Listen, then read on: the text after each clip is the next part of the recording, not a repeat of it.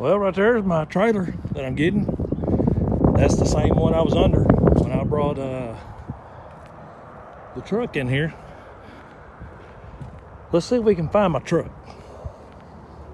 They've given me a truck number. We'll see what's going on.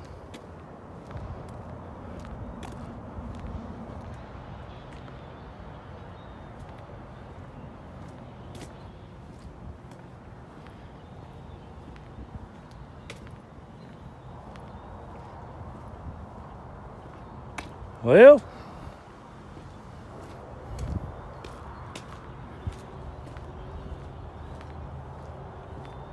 right there it is. Right there it is. Two double zero three four nine. That is it. It's got 10 miles on it.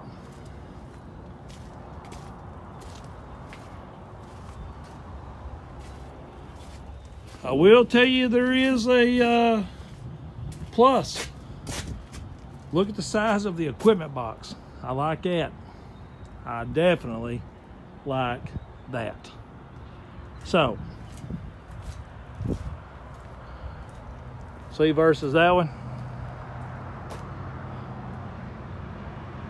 Yeah, definitely like this one. So, all right, I'm gonna get hooked up to my trailer and uh, we're gonna head toward the house so I can get it rigged up and hit my ready to roll in the morning.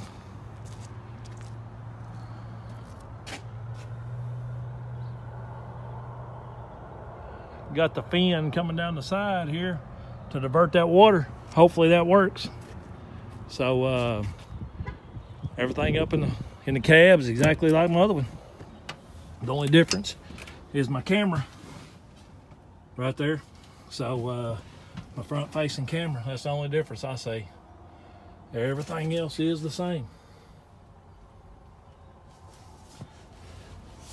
Appreciate y'all watching as always.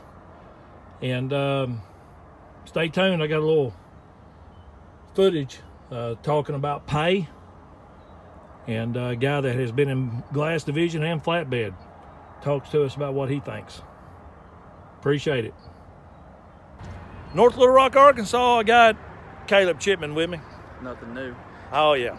Yeah, it's always new, man, anytime we get together. So here's what I want Caleb to answer for us.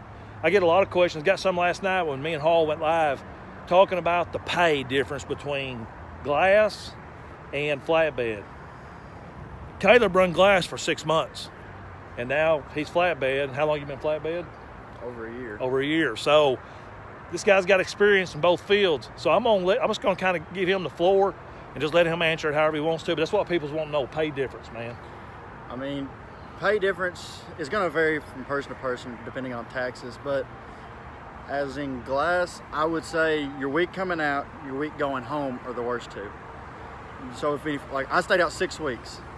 My four weeks were good. Week coming out's not as good. Week going home wasn't as good just because of freight, trying to get me home or get me out, whatever. So I had four good checks, had two bad checks. Flatbed, on the other hand, I go home with the load. I'm leaving. I don't get as much home time, but I'm constantly and I have a more consistent pay. Instead of jumping big checks, small checks, taking four days off, whatever happens in glass, where I have a lot more consistent check now than I did when I was on glass. Okay, so that makes sense. And when you say you don't get as, you don't get as much home time, you're not home for three or four yeah, days I'm not home. Yeah, I'm not home because like six six weeks out, six days at home. I said I don't. I mean now I'm home for 34, two days, Right. 48 hours, whatever. Right. And you know that's what that's what you say now, man. And I appreciate you answering that question. But the thing that people need to understand about the flatbed side is, as far as home time, they, what I try to tell people is, you may not agree with this, 34 hours. I mean, that's what you need to bank on. And if you get more than that, then you just count your lucky stars that you got more and, and move on. But most of the time, you're just going to get a reset and, and, and roll on. Yeah, Yeah. but they tell you that from the start. So I mean, it shouldn't be something that you're just shocked with as soon as you go out solo. I mean, it shouldn't Right. be something that just shocks you. Right. So, but yeah, the pay, I mean, like I said, I appreciate you answering that. I want to get his take on it because he's got experience in both those worlds.